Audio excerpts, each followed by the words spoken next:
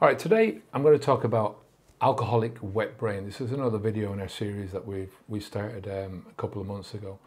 Um, today I want to talk about the three major symptoms of the first stage of wet brain, which is Wernicke-Korsakoff syndrome.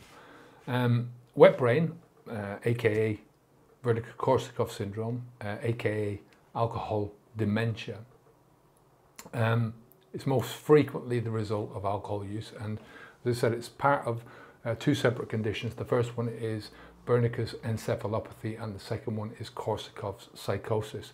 And the second one is a progression of the first. And wet brain comes from the fact that uh, it's mostly affected um, by drinking alcohol. So um, the people that are mostly affected by this are alcohol drinkers. There are three main types of symptoms of the first stage of wet brain or Wernicke's encephalopathy. Uh, before we start, this video is sponsored by habitsv2.com. If you're looking to um, to get help to stop drinking alcohol and more particularly to start building the best possible version of yourself, you can check out the link below this video um, to our personal coaching program. Tons of step-by-step -step premium content videos, a community that's growing every day with members from all over the world live coaching sessions and I'm there every day to help you in any way that I can. So click on the link down below this video for more information. The first three major symptoms are a result of um, thiamine deficiency, B1 deficiency. 19% of patients who show up with, um, who are first diagnosed with this don't show any of these symptoms, but the rest of them do. But these people, even the 19%, they're going to show one or more of these as the disease progresses. The first symptom is a weakness or a paralysis in the eye muscles. This is something I thought I had at the beginning um, or towards the end of my drinking. One of my eyes was just acting weirdly.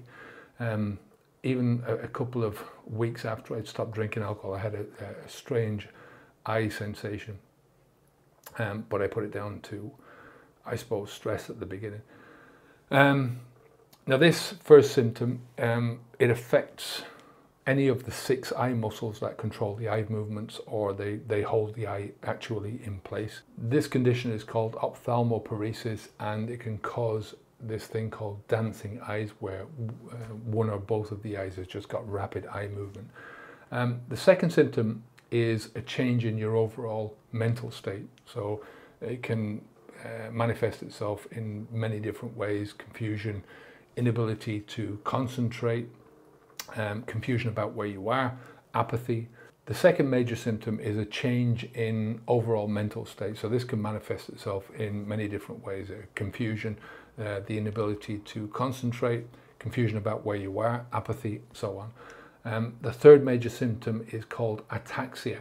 And this is where a person loses some of their or all of their muscle coordination, their balance. It can affect their speech, it can affect when they're picking up objects, again, eye movements, swallowing, uh, and it's caused by damage to the cerebellum. Now, again, these are avoidable in the case of alcohol users, right? So the first thing that you need to consider is whether or not you should be stopping drinking alcohol. Um, you know, there is no um, there is no safe limit for drinking alcohol. Uh, a lot of people say there's benefits, there's health benefits, but um, I think that if there's any health benefits, they're far outweighed by the problems that are caused by even moderate drinking of alcohol. But it's your choice. Um, you don't have to drink this poison.